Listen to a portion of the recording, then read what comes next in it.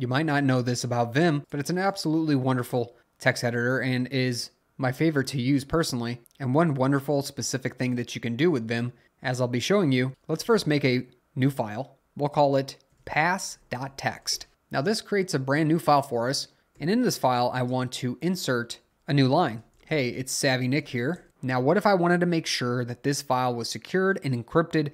That way no one can reach this. A lot of us spend time zipping up files and compressing them to put a password over them. But what if we want to simply encrypt this text so no one else can see it on our system? Well, Vim makes it super easy. So most of us are used to doing colon X, which saves and exits out of the current file. So if we open up pass.txt again, we'll see, hey, it's SavvyNik here inside of the file that we just created. Wonderful. But what I want to show you is colon capital X. As you can see on the bottom here, we've typed it in, and now if you press enter, you'll be asked for an encryption key. What does that mean? Well, that's just asking you what password do you want to use in order to access this file. Well, if we set one, we'll be asked again for that same password. Make sure to remember this password because if for some reason you forget the password, and you don't actually reset the file so it doesn't have a password, which I'll be showing you later in the video, make sure to smash that like button,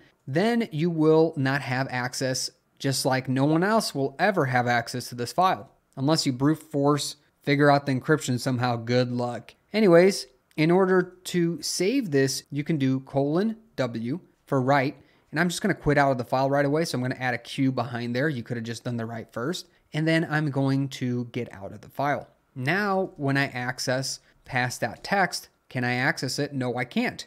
There's an encryption key. Well, let's just prove that it's actually encrypting our data. Well, that's simple. I'm gonna type in a password that's not right, and look at this. Read only, converted, and no end of line. Why? Because you get this gibberish here. Vimcrypt is your only clue that this is an encrypted file that you cannot access. No, no, no, not available for you. And this is why Vim is one of my favorite text editors, especially when it comes to the console. It allows you to directly edit these text files, encrypt them, and super easily navigate lines with your keyboard. So this is a very useful command. Let's actually go inside of our file. I'm to quit out since I failed to enter in the password. But before we get there, check out delva.ai. Not sure how to start using AI for your business?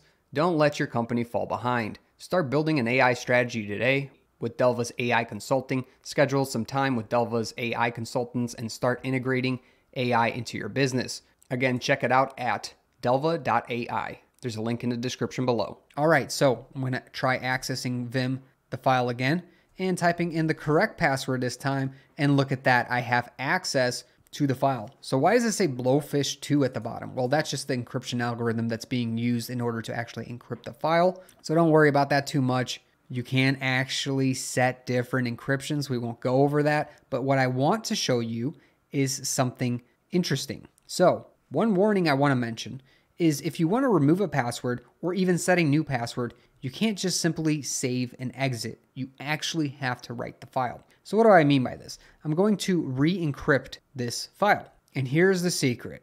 If you want to remove the encryption, just press enter twice without any password actually put in. And then I'm going to save and exit with colon X. As we may know, colon X saves and exits out of the file. So I'm going to access vim pass.txt. Wait a second. Why is it asking me for a password again? SavvyNik, didn't you say that we didn't need a password because we just removed it? Well, that's because we made a fatal mistake. If we type in the previous password, we can still access the file. Why is that? Well, when we did the colon capital X as an x-ray and we pressed enter twice, we forgot one step. You cannot do colon X to save and exit. You must do a write first. So if I write and then I do a colon X to save and write, then the password gets removed as you can see here. So make sure you do that. The other way around this, of course, is you can do colon WQ, which writes and then quits out of the,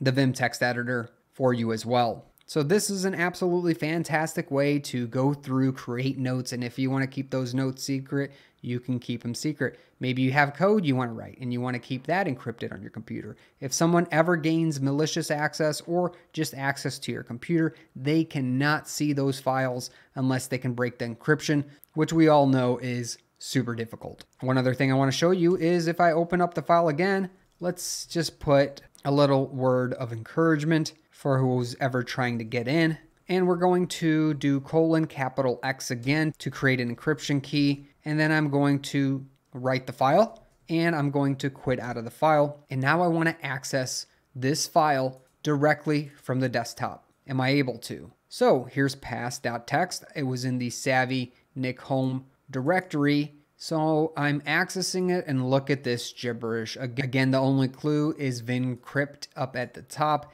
Everything else is gibberish. You cannot read the contents of this file. Well, hopefully you learned a little bit about Vim and how you can actually put in an encryption password super easily without having to use a whole bunch of tools in order to do it or installing extra software on your computer. You can now just use Vim to do it directly yourself. If you're looking for more kernel updates, tips and tricks about Linux, and just some fun content in general, make sure to subscribe below. Don't forget to like the video, catch me in a great community on Discord, and I'll catch you in another video. Thanks for watching.